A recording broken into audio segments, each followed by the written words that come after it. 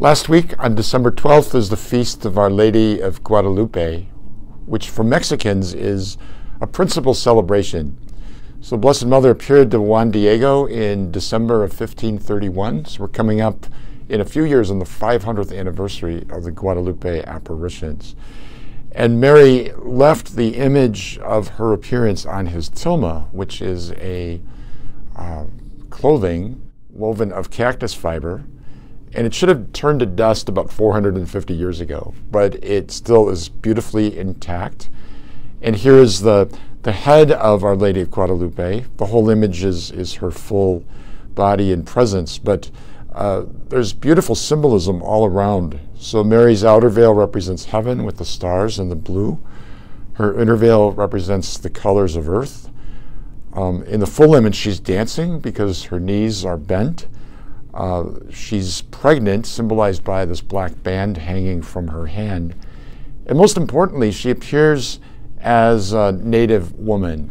And it was this apparition that triggered the conversion of millions of people in Mexico to Catholicism because they realized that, that God loved them as they were.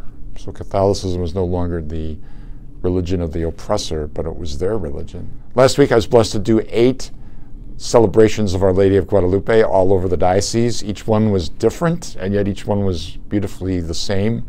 Some had Aztec dancers, some not. They all celebrated the Eucharist. There's also a beautiful tradition called Las Mañanitas. So early, early in the morning, before dawn, on the Feast of Our Lady of Guadalupe, people gather in church for songs and prayers to greet the morning and to greet the Blessed Mother. So I did Las Mañanitas at Our Lady of Guadalupe Parish um, at 5 a.m. on December 12th.